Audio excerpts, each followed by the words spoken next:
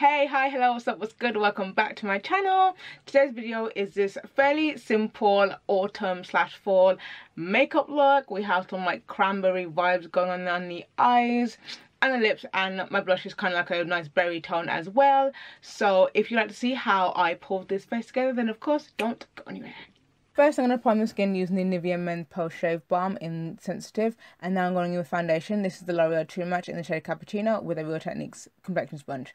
For concealer, I'm using the Maybelline Instant Age Rewind in the shade Tan. And then I'm going to set that using the Beauty Bakerie Flour Powder in the shade Yellow.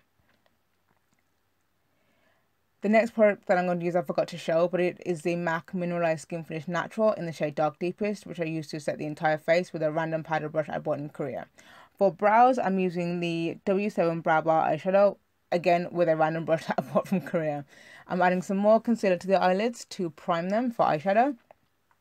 And the first eyeshadow I'm using is by Makeup Geek in the shade Bitten. I'm just using a Morphe E23 to pack that all over the lid.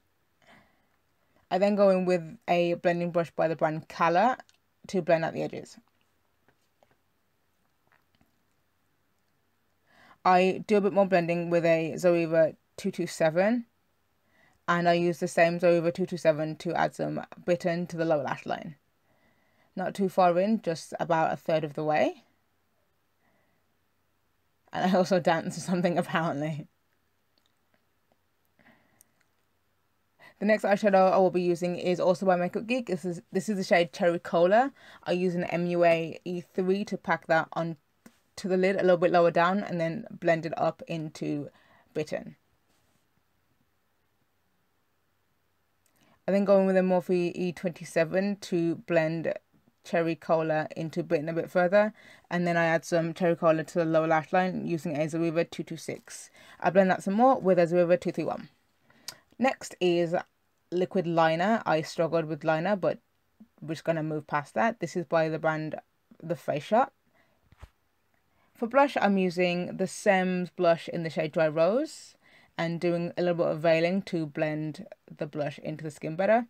I'm using the L'Oreal La Vie en Glow highlighter palette to highlight those cheeks. And tip of the nose, of course. Mascara is the Essence I Love Extreme Volume Mascara and the Maybelline Lash Sensational Mascara. I like to use both of them because I'm extra. For lips, I'm using a Stila liquid lipstick in the shade Ricco. I'm trying to film my outro and my mom has just turned on the hoover downstairs so if you can still hear me don't forget to like this video if you did like it subscribe if you haven't already and as always thank you so much for watching and i will see you in the next one bye guys